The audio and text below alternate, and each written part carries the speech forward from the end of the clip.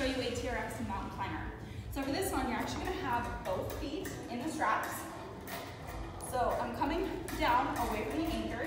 I place both feet in the straps, and then I'm going to bring my hands out. So I'm coming up into a plank position.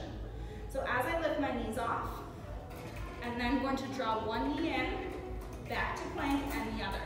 Trying to have my shoulders over my wrists so I'm not leaning way over and overextending through my wrists.